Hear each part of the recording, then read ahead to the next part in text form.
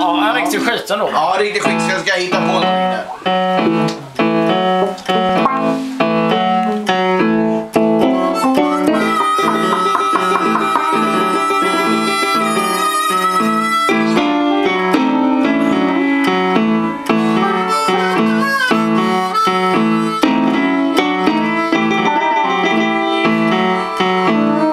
Den här låten kallas för Mitsubishi Den är tillägnad alla japanska multinationella företag som producerar